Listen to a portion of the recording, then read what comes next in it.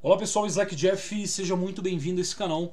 O site do Slackware não está funcionando, eles devem estar em manutenção algo do tipo. Eu pinguei ali, funcionou, mas eu acho que é pro Brasil que está dando problema, tá? Bom, o assunto desse vídeo é muito simples, tá? Eu fui hoje na casa de um, de um aluno, Evandro, aqui em Curitiba, dar uma aula particular para ele sobre Slackware e tal, que ele quer aprender mais sobre Linux, né?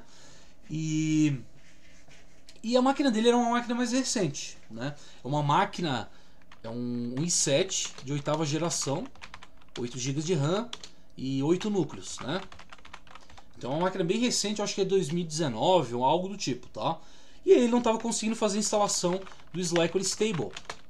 O Slackware Stable agora, no presente momento dessa data aqui, 17 do 8, né, 17 de agosto de 2020, o Slackware está no 14.2 e foi lançado em 2016. Tá? Então, a lógica é muito simples. Se essa máquina aqui dele, né, isso serve para todo mundo, a máquina dele é 2019, não tem como a gente pôr um Slackware Stable lá. Tá? E por quê? Porque o Slackware Stable foi lançado em 2016. São três anos de diferença do, do da ISO aqui do Slackware Stable para a máquina dele que é uma 2019. Então, se você tem uma máquina, tá? Uma máquina atual, né, uma máquina, sei lá, 2020 aí, não tem como meter um Slackware Stable. Não tem, porque ele é de 2016. E se a gente pular para o futuro e tiver no Slackware Stable 15, tá? Vamos dizer que o Slackware Stable 15, tá? Foi lançado em 2020. E a gente está em 2024, por exemplo. E a máquina que a gente quer executar é uma máquina de 2024 não tem como fazer isso aqui, tá? Não tem como instalar numa máquina de 2024, um hardware bem recente, instalar o Slack Stable 15 no caso daí, que é 2020. Não tem como. E por quê? Porque o hardware é mais recente. O kernel que eu estou utilizando no 14.2 aqui, ó, opa, é um kernel 4.4.227, tá? Um kernel mais, mais antigo. A minha máquina é 2011. então a minha máquina vai funcionar. Máquinas até 2016 vão funcionar tranquilamente máquinas de 2017 talvez funcionem bem. Talvez, tá? Pode ser que não suba alguma coisa porque tem hardware mais recente, vai precisar do que? De um kernel mais recente. Então você tem duas coisas para fazer aqui, tá? Se a sua máquina é uma máquina mais atual.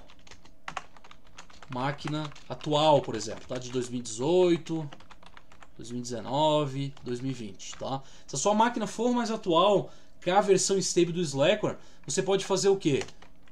Compilar o kernel um kernel mais recente, compilar e instalar, aí vai funcionar bem, tá? Porque ele vai reconhecer todos os hardware, o hardware, todos os drivers lá, possíveis modos, e vai subir tranquilamente.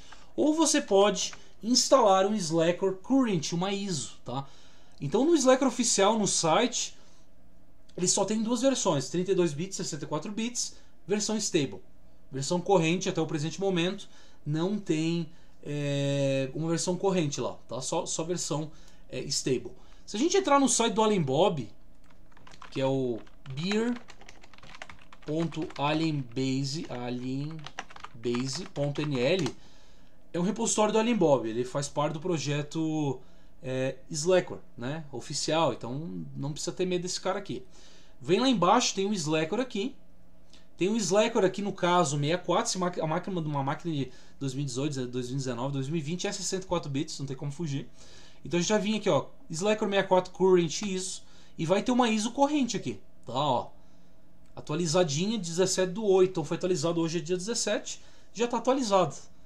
Beleza? Então é, sempre tem atualização é gerada uma nova ISO e botada no site do Alien Bob, tá? No repositório Alien Base no caso. Fechou? Então tem isso aí, tem essa alternativa. Tem uma máquina mais recente, corrente. Tem uma máquina mais. É, o Slack foi lançado em 2016. Então, é, máquinas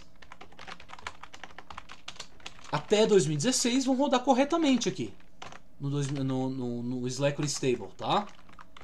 No caso 14.2, né? Vai rodar corretamente. Máquinas acima de 2016 vai ter que partir para o current, corrente, para ser executado bem. Fechou, gente? Então é isso, uma lógica bem simples aí, tá? cursoslackjeff.com.br, curte esse vídeo, se inscreva se você não é inscrito e até o próximo vídeo. Um abração e fui!